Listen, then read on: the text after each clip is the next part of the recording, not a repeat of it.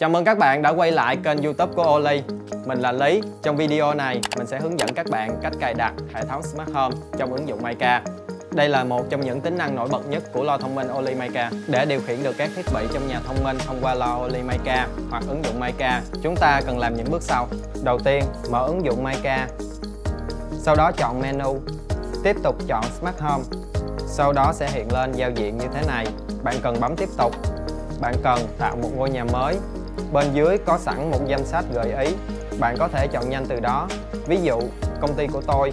Sau đó, nhấn tạo nhà. Tiếp theo, bạn cần tạo một phòng mới, Tương tự như tạo nhà. Bấm tạo phòng và tiếp tục.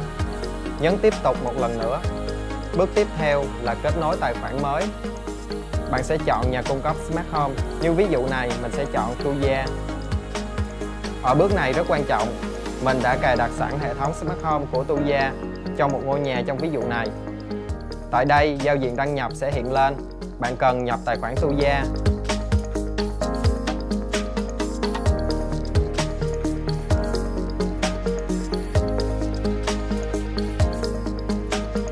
Kết thúc bước đăng nhập này, giao diện sẽ hiện lên một danh sách các thiết bị từ nhà cung cấp Tuya.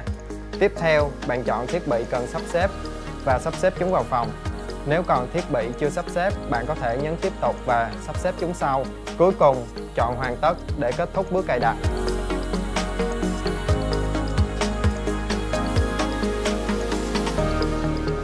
Bây giờ thì các bạn đã có thể điều khiển các thiết bị Smart Home mà các bạn vừa cài đặt thông qua ứng dụng Mica hoặc điều khiển bằng giọng nói thông qua loa Oli Mica. Ví dụ để điều khiển TV. Mica ơi! Dạ. Mở TV điều khiển thiết bị thành công. Để giảm nhiệt độ máy lạnh, các bạn có thể ra lệnh như sau. Maika ơi, em nghe. Giảm nhiệt độ máy lạnh xuống 2 độ C.